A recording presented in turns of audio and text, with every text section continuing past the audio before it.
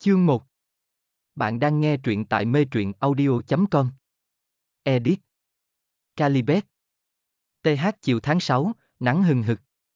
Toàn bộ thành phố giống như một cái lò hấp lớn, ngay cả những người đi đường cũng nhìn không rõ đường. Thẩm tri sơ cuối cùng cũng sắp tốt nghiệp, mấy ngày nay cô đã thu xếp ổn thỏa mọi thứ, tranh thủ nhân dịp rảnh rỗi này trốn trong phòng ngủ, mở điều hòa rồi chơi game với bạn cùng phòng là Đại Mộng. Chính là game PUBG Mobile. Tuyệt địa cầu sinh, đột nhiên gần đây bùng nổ thể loại trò chơi sinh tồn bắn súng kiểu này.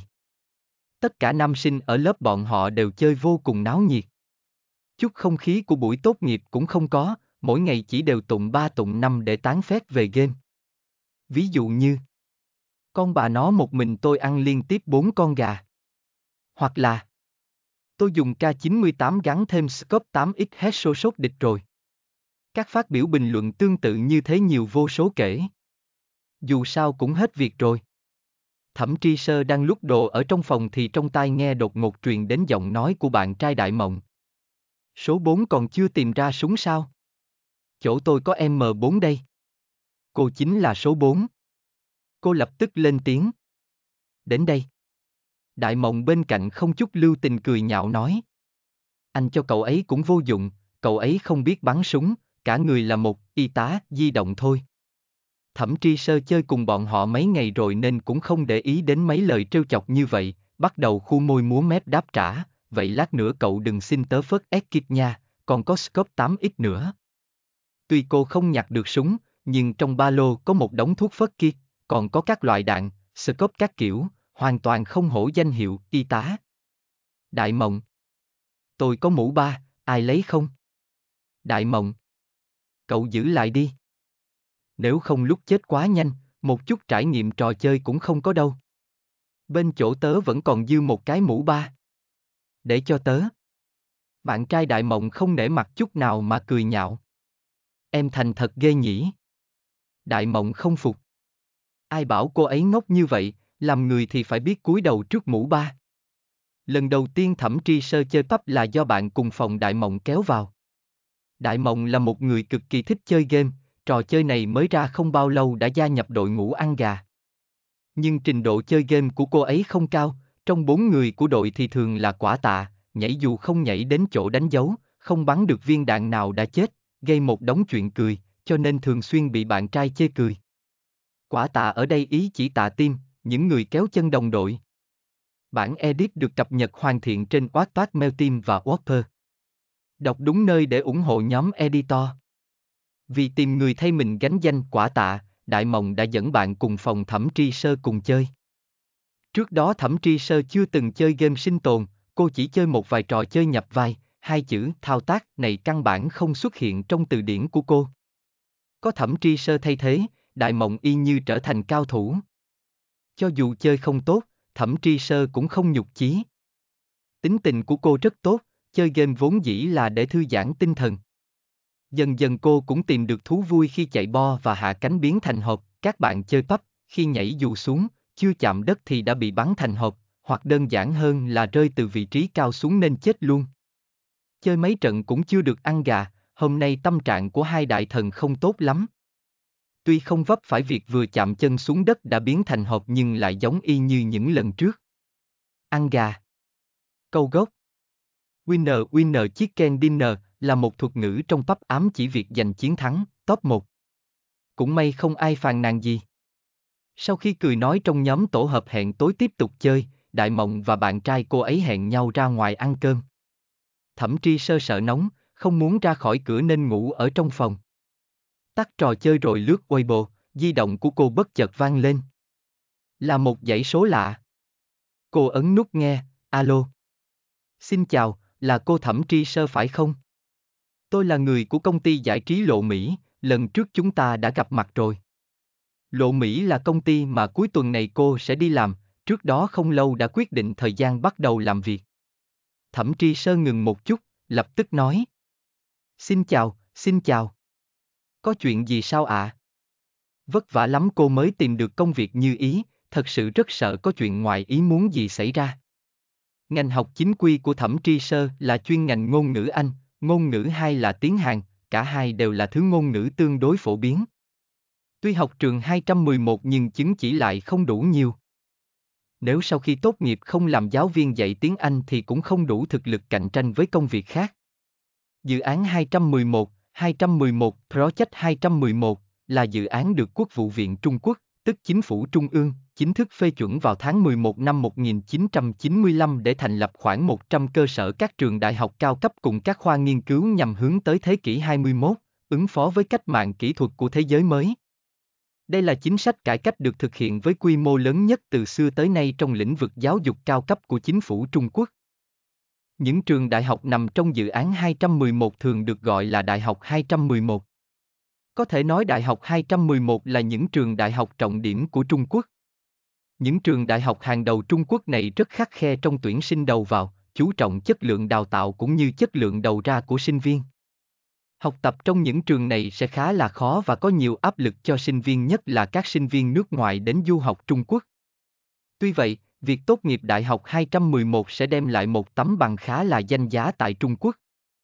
Một nửa lớp thì thi lên thạc sĩ, còn cô và Đại Mộng thì không có tinh thần học tập gì, sau khi thực tập xong năm tư đại học thì thất nghiệp, chạy mấy tháng để gửi một đống CV vào các công ty. Trước tốt nghiệp mới tìm được việc làm. CV Sơ yếu lý lịch nộp vào để xin việc.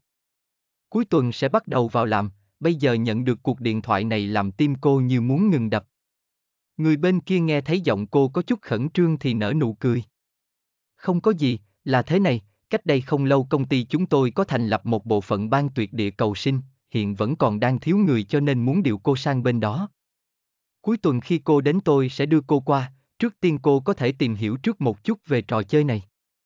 Chức vụ cô ứng tuyển vốn dĩ là phiên dịch và chỉnh sửa tài liệu, đến phòng ban nào cũng không khác nhau mấy, chỉ có yêu cầu tiếp xúc trò chơi và thi đấu là không giống nhau thôi. Được, không thành vấn đề. Thẩm tri sơ thở vào nhẹ nhõm. Trước đó, chính cô cũng không ngờ phù hợp với tiêu chuẩn tiền nhiều, việc ít, gần nhà lại là một công ty game. Cô chơi game online không nhiều lắm, dĩ nhiên không hiểu lắm về các ngành công nghiệp mới nổi như esports hay livestream. Cuối cùng là do Đại Mộng và bạn trai cô ấy hét ầm lên mới hiểu hiểu đại khái. Lộ Mỹ trong giới thể thao điện tử này là một công ty lớn, đội ngũ phía dưới các trò chơi có thể xem như chiến đội quyền thế. Không nghĩ tới cuối cùng lại vào ban tuyệt địa cầu sinh, là trò chơi duy nhất mới nổi mà cô tiếp xúc. Thẩm tri sơ cảm thấy thế giới này thật có quá nhiều trùng hợp, vì vậy mà cô một mình lặng lẽ mở trò chơi ra. Cô quyết định nhất định phải hiểu biết thêm về trò chơi này. Thẩm tri sơ chọn chế độ chơi hai người rồi tạo đội ngẫu nhiên với đồng đội. Trò chơi này mới ra không lâu, tất cả mọi người giống nhau đều là người mới. Hệ thống tạo đội cũng chưa hoàn thiện lắm nên thỉnh thoảng sẽ có một vài người cấp bậc cao vào đội của những người bậc thấp như bọn họ. Thẩm tri sơ biết chuyện mình là nữ không thích hợp nói với người khác. Rất nhiều người chỉ cần nhìn thấy nhân vật nữ sẽ rời đội, hoặc cảm thấy con gái đều sẽ bẫy người, nên cô cũng không mở mic nói chuyện. Kết quả là cả trận đấu không mở miệng nói chuyện với đồng đội luôn. ID của đồng đội là một chuỗi chữ cái tiếng Anh, không biết được là nam hay nữ, cũng không nhìn ra có lợi hại hay không. Hai người trầm mặt ngồi trên máy bay. Nhìn thấy máy bay sắp bay quá nửa đường bay, thẩm tri sơ hít sâu một hơi, mở mic. Nhảy chỗ nào đây? Đồng đội im lặng chấm một điểm trên bản đồ. Thẩm tri sơ. Được thôi, lạnh lùng cũng được. Thẩm tri sơ tắt miết, đi theo người kia cùng nhảy xuống Servini ở cuối đường bay. Lúc trước chơi cùng bọn người đại mộng, bọn họ chê chỗ này nghèo nàn, thiếu đồ, nên từ trước tới nay chưa từng nhảy chỗ này, vì thế cô cũng không quen thuộc với nơi này lắm. Sau khi tiếp đất thì tìm ngay một ngôi nhà gần đường để lúc đồ. Đồng đội đang lúc đồ phía bên kia. Kết quả cô còn chưa lúc xong một nửa nhà, đồng đội đã lúc xong rồi. Hình như chờ một chút, đồng đội rốt cuộc cũng nói câu đầu tiên. Là giọng nói của con trai. Tôi đi tìm xe.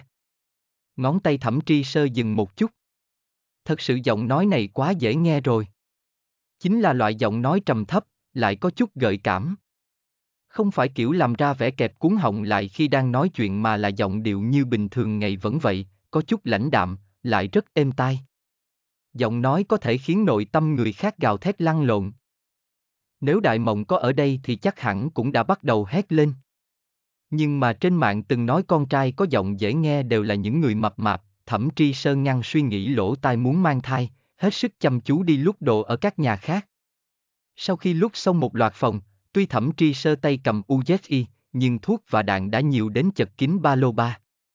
Đồng đội đã tìm được xe máy, chuẩn bị đưa cô lên đường.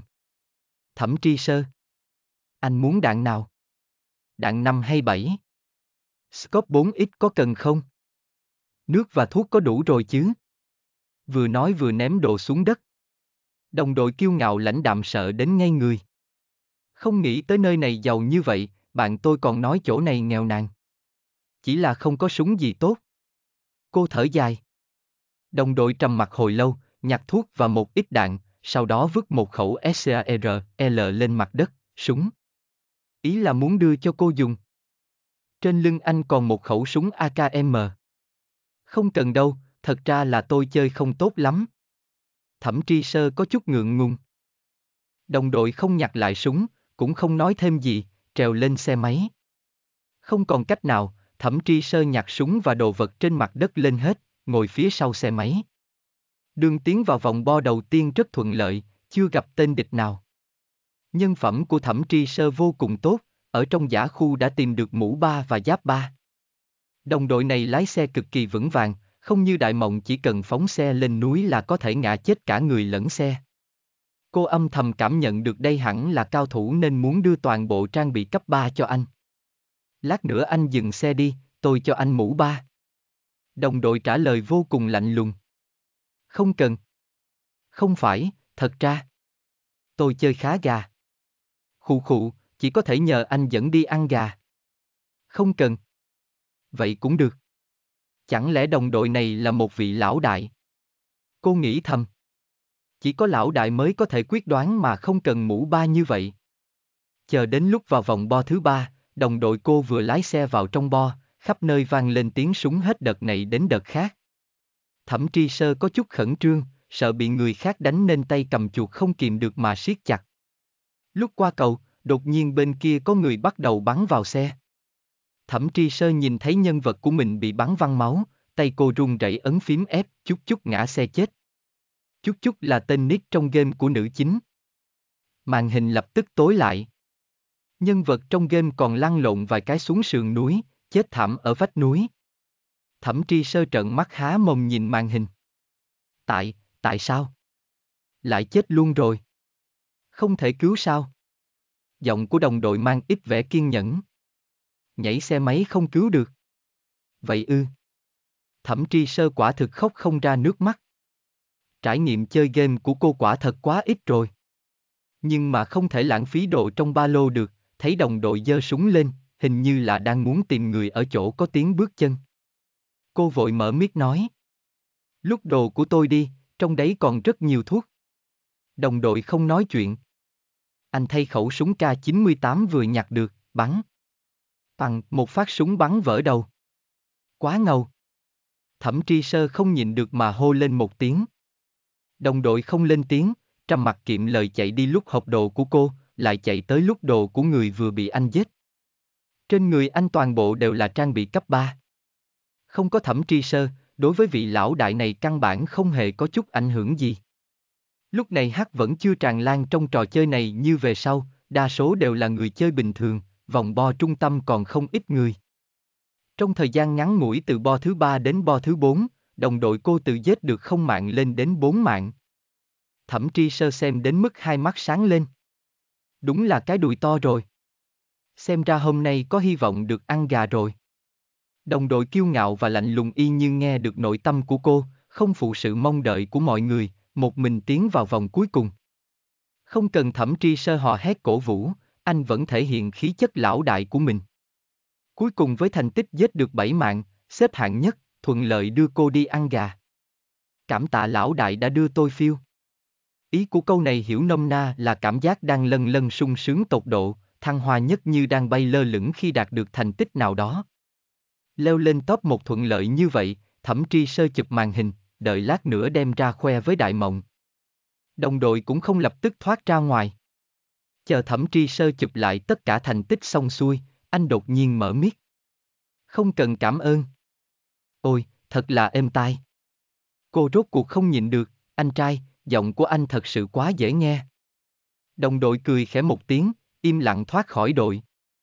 Thẩm tri sơ còn đang đắm chìm trong tiếng cười truyền đến từ tai nghe, không tự kiềm chế được lòng mình. Cô nghĩ, nếu giọng nói lạnh lùng này gắn với một anh chàng mập mạp thì thật có chút không tưởng tượng nổi. Tác giả có lời muốn nói. Tới rồi đây. Nội dung rất ít liên quan đến trò chơi, chưa từng chơi trò chơi cũng ok. Quả thật nhiều tình tiết cũng không phù hợp trò chơi, là do cốt truyện yêu cầu cho nên. Không cần để ý đến bắp đâu ha. Vì yêu đương là chính mà. Có gì không hiểu có thể nhắn lại nha. Hẳn là sẽ không có, hy vọng mọi người có thể thích câu chuyện cũ đáng yêu này, có thể yêu thương sơ sơ và chiếu chiếu nhiều hơn một chút. Toàn văn đại khái là 180.000 chữ, khoảng 60 chương. Lời của editor Định chú thích tất cả các cụm thuật ngữ trong game pub từ súng, bình thuốc. Các kiểu nhưng chú thích như vậy thì quá nhiều. Với các bạn chưa từng chơi game pub nếu có đọc thì hãy mở song song tab Google rồi gõ những cái tên bạn đang không hiểu, nó sẽ hiển thị kết quả giải đáp cho các bạn. Đối với ai đang chơi game thì hoan nghênh nhảy hố. Nghe trọn bộ tại mê truyện audio.com, link trực tiếp ở phần mô tả.